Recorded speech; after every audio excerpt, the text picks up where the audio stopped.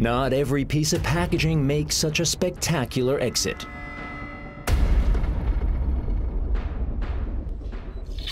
Millions of packages in Germany simply feel empty at some point, squeezed out and useless.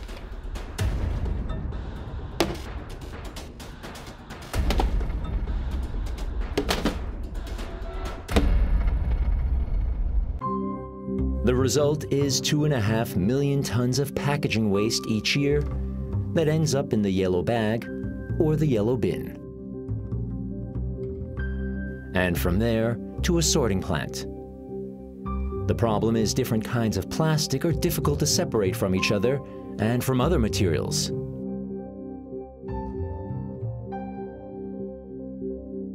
That's why most waste ends up being used for energy recovery. The empty packaging is burned for energy in conventional power plants, for example, or in the steel or cement industry.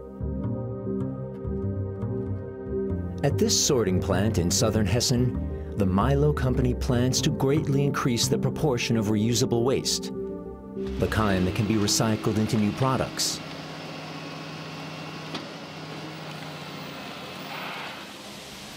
Waste is collected from yellow bags and yellow bins in the surrounding region. The problem is, the waste contains material that doesn't belong here, like non-returnable packaging and a large amount of other household waste as well.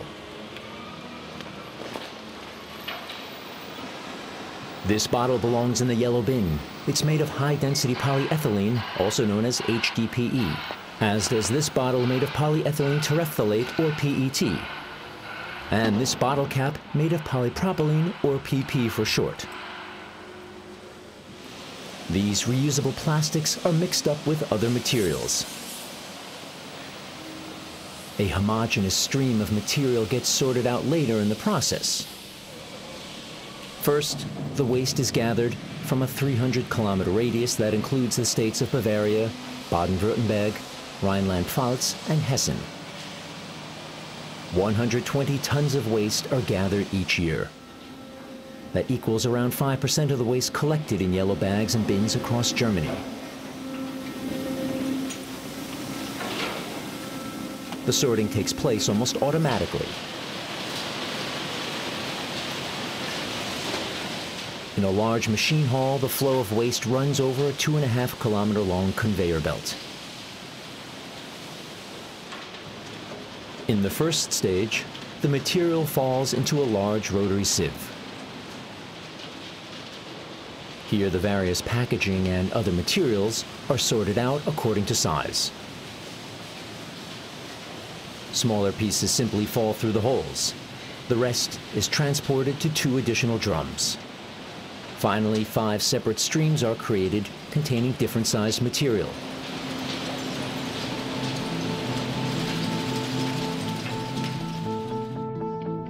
Separating the material by size makes further sorting procedures much easier.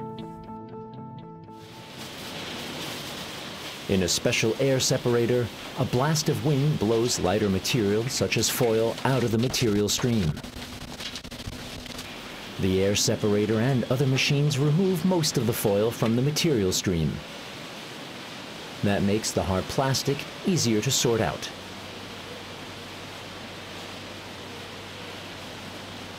The more thoroughly the plastic is sorted out, the better it can later be used to create high-quality products.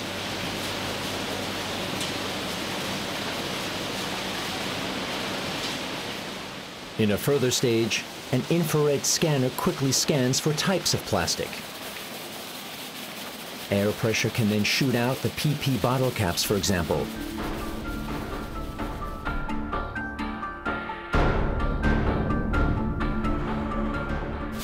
Then comes the PET, and finally HDPE is sorted out of the material flow.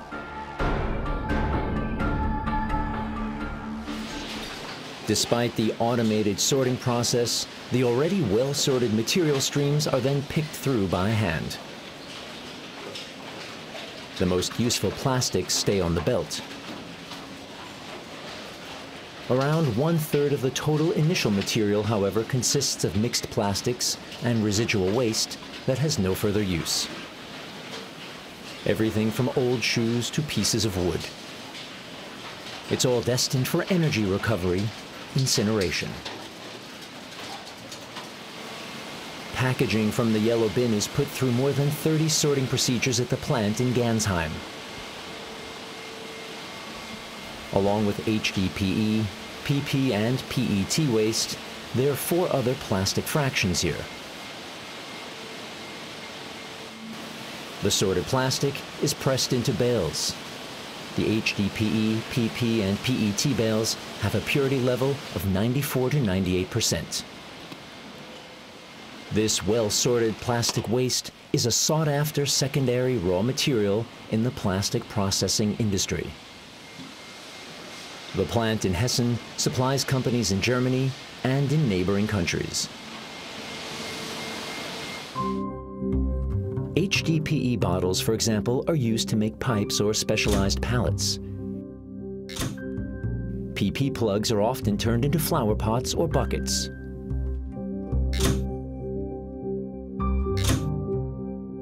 and PET packaging is turned into fibers used in fleece sweaters or into stylish lawn furniture.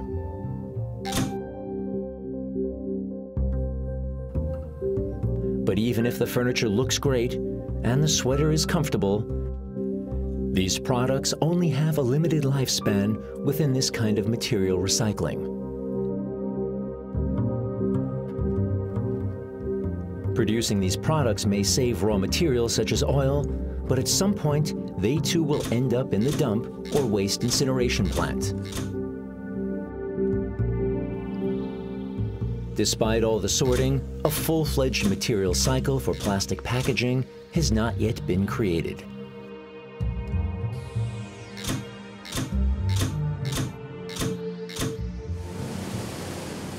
To create a genuine cycle, that means a bottle is made into another bottle the sorted plastic fractions need further processing. Systec Plastics in Thuringia is doing just that at a special plant in the town of Eisfeld. First, HDPE bottles end up here in a shredder. The resulting plastic shreds are cleaned of any shampoo, yogurt, or any other residue and a special procedure sorts out the last unwanted remains. The result is a colorful mixture of cleaned flakes that are made almost entirely out of HDPE. These still have to be sorted out by color. If they were melted down as is, they turn a dirty gray. This color sorting takes place in a special sorter.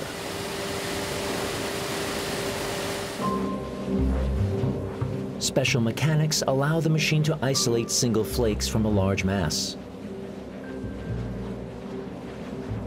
HDPE particles are run over a slide piece by piece. Tens of thousands per minute. LEDs light up the material stream, while sensors recognize the different colors.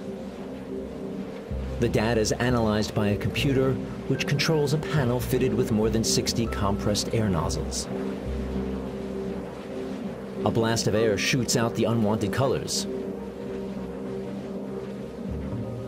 Only the colorless flakes remain, if so desired.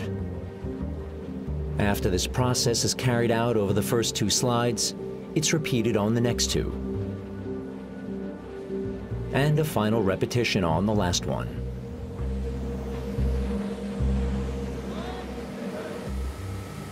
The result is an output of 800 kilograms of sorted HDPE flakes per hour with a purity level well above 99%.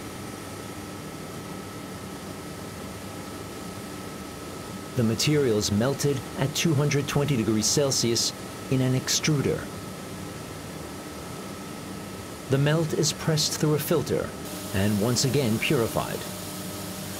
Then the liquefied plastic is cooled and processed into granules. The result is a high-quality raw material that is put to use nearly everywhere in the plastics industry. Besides HDPE packaging, polypropylene, or PP caps, are put through these elaborate cleaning, sorting, and processing stages as well.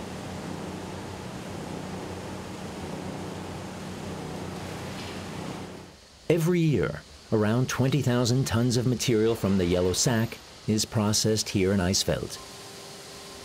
But only a small portion gets the full treatment. Production capacity is set to increase in the future, and the procedure is to be further improved. We can already take plastic from the yellow bag and turn it back into plastic. We now plan to enter areas related to the food industry. We'll start with cosmetics, then move on to food at some point. We think it'll take a few years and then our plastic will be hygienic enough for that.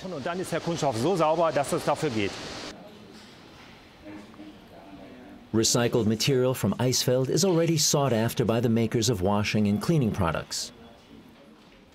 At its location in Mainz, the Werner and Mertz company produces more than 130,000 tons of foamy and fragrant detergents.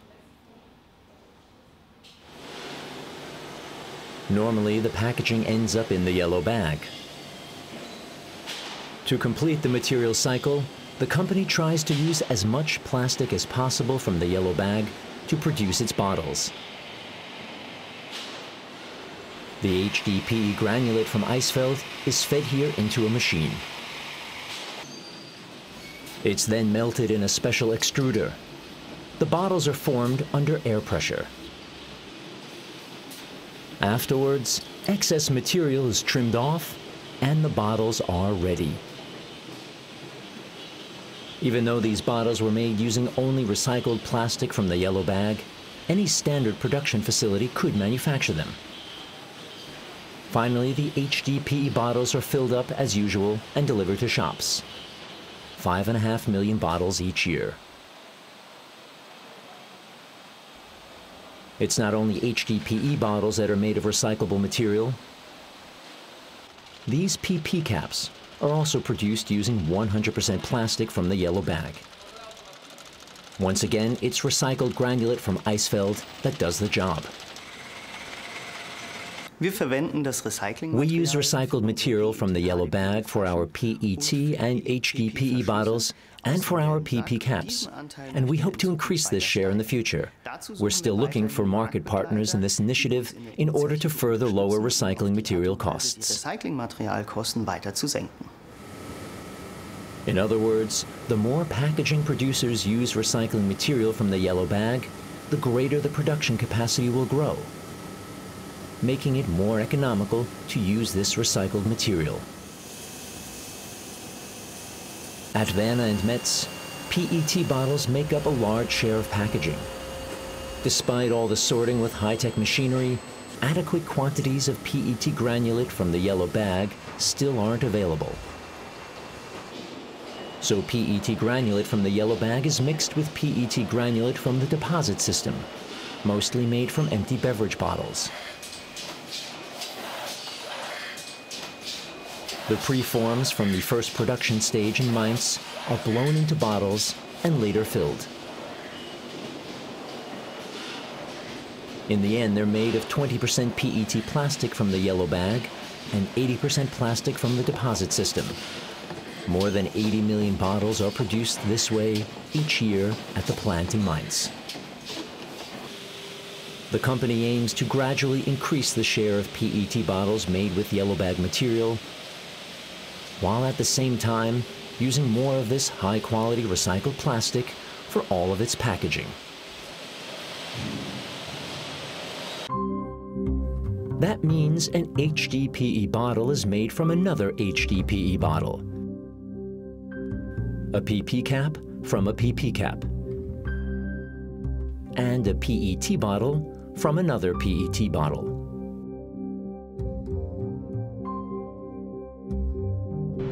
that preserves the raw materials and energy invested in plastic production. Until now, only a fraction of packaging from the yellow bag and bin got recycled. But experience shows that plastic from the yellow bag can be used in a material cycle.